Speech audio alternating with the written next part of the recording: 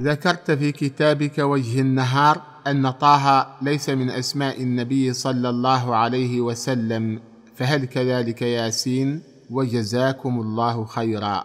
باسم ربي الأكرم الذي علم بالقلم علم الإنسان ما لم يعلم وصلى الله على نبينا محمد وعلى آله وصحبه وسلم.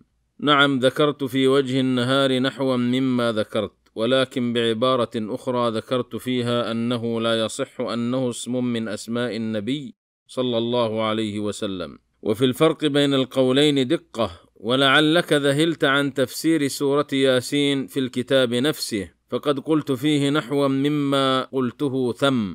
وسأنقل لك ما قاله أهل التفسير في معناه ثم أذكر ما اتضح لي صحته أو رجحانه وليس فيما أذكر من الترتيب قصد إنما هو جمع وحسب.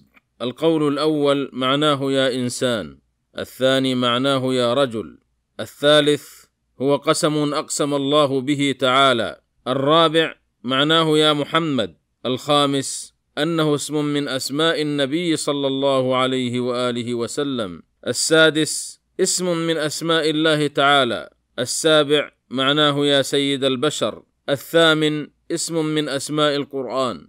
التاسع أنه من فواتح الله عز وجل افتتح بها كلامه. العاشر أن معناه بئس الذين كفروا ممن كذب محمدا صلى الله عليه وآله وسلم. ذكره الماوردي. الحادي عشر الله أعلم بمراده به وهو كسائر الحروف المقطعة. هذه عشرة أقوال سوى القول الأخير وآخرها أولها وأولاها بالاختيار.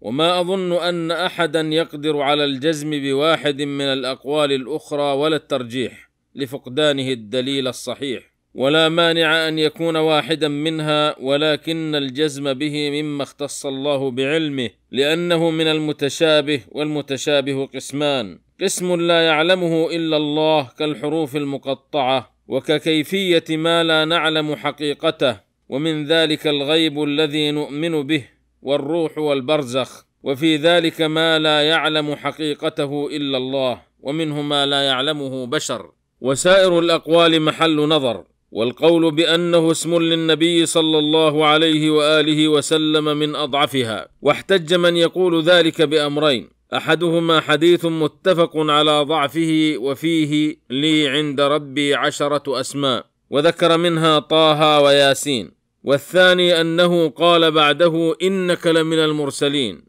وهو استدلال ضعيف. فقد ورد مثله في فاتحة القلم وسورة الشورى والرعد والأعراف وسورة الشعراء. وفي بعضها ما يفصل بين الحرف المفتتح به وبين خطاب النبي صلى الله عليه وسلم بذكر القرآن أو غيره. وللمفسرين القائلين بأنه اسم من الأسماء وليس من مقطع الحروف أقوال في أصله. فمنهم من قال هو لفظ عربي. ومنهم من نقل أنه بلسان الحبشة ومنهم من قال إنه سرياني وما هو بخاف عليك أن في الكلم العربي ألفاظا سمعها العرب ثم جرت على ألسنتهم مع معرفتهم بأصلها والقول بأن أصلها غير عربي يصدق تطبيقه على بعض الأقوال دون بعض. ويحتمل أن يكون من مبتكرات القرآن ولكن ليس من الحروف المقطعة مع احتماله معنى أو أكثر من المعاني المذكورة. وما هو جدير بالذكر